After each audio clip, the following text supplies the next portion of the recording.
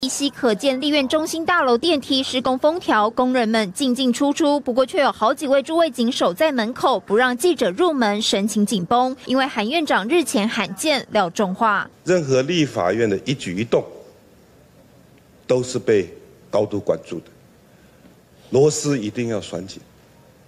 我再说一遍，每一个部门、每一个单位，螺丝一定要拴紧，不叫而杀。当然为之虐。新春第一天，韩国瑜市警职员们洁身自爱。事后传出打算出手处理立院让人诟病的两件事，包括新国会立委办公室装潢厂商竟开出七十一万天价报价，以及二零二一年编五百元升级，但到了二零二三年还没验收通过的中心大楼电梯。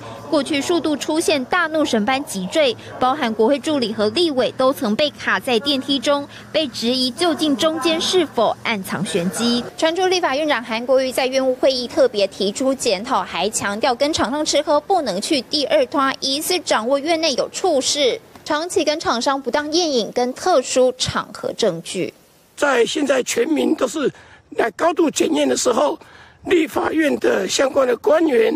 应该要洁身自爱啊！立法院的呃高层应该介入调查，是否没做到利益回避？立法院秘书处私下澄清，韩院长只是不希望传言是真的。不过十天内两度精神训话，要立法机关最高殿堂千万不要以身犯险。进行我黄轩黄。